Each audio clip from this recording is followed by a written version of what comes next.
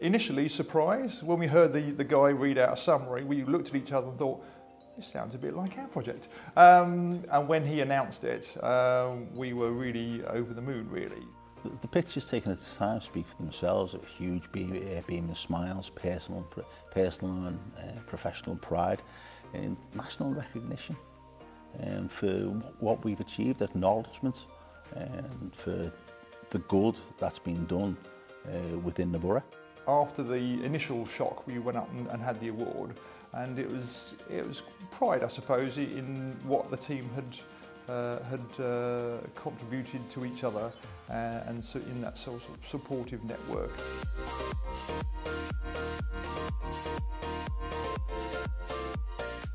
From then, um, there was requests for a presentation. Presentation turns into an hour presentation. Um, I've done the CIEH regions of Cheshire, Merseyside, Manchester, uh, Cumbria. APSE asked me to speak in Manchester.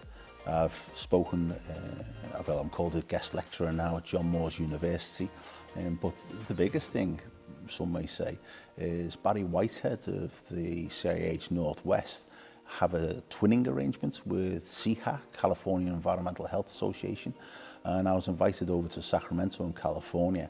Uh, I spoke there and told them about the project, about the Excellence Award uh, and the successes.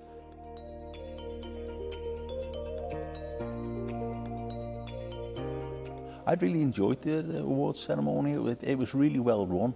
It was well organised. It was a fun event. Um, there's no stuffiness. It was just like-minded people engaging with each other. Um, yeah, I think there's a real buzz in the room. And there's a lot of uh, networking and chatting and finding out what else was going on. Um, and I think that was really good. The food and the catering was absolutely fantastic too. The venue, I enjoyed the venue. I thought it was really well set out.